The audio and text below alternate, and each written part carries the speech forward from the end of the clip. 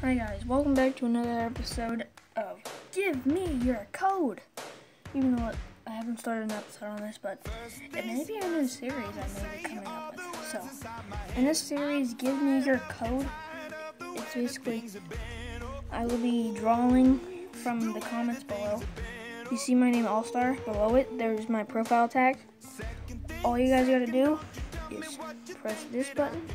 If you guys play Clash Clans, press this button, press copy, and then copy it to the comments below. And the only way you guys can be entered in this giveaway, I mean not giveaway, shout out is if you guys subscribe to the channel to smash that like button. As you guys know, that, that would be gladly appreciated and appreciated. So guys, that's all you really have to do to enter in this competition. Subscribe and like and comment down below if you guys have subscribed or not.